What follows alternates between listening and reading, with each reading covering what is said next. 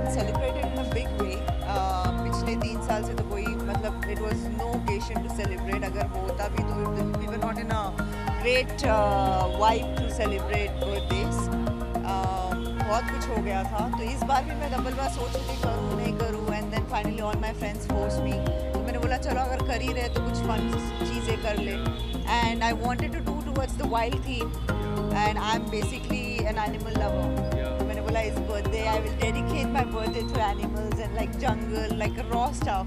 I am so excited to get jungly. uh, Laxmi uh, के birthdays हमेशा ऐसे big scale पे celebrate होते हैं और हमेशा theme So every year we are very excited to know कि is बार क्या theme Last year was was school, uh, back to school. So this time it's jungle. And I was excited because there's so much you can do with uh, this theme and there's so much to play around with hair, with makeup.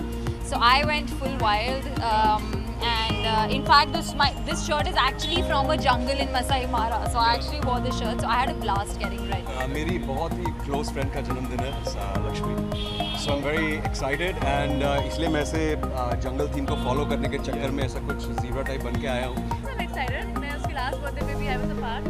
And this birthday also have a part because of uh, Rohan. We all are very close friends. And she's a darling. है but yeah मैं उनको दिल से बहुत बहुत wish करना चाहूँगी that happy birthday lots of love and lots of happiness बहुत ही अच्छी लड़की है।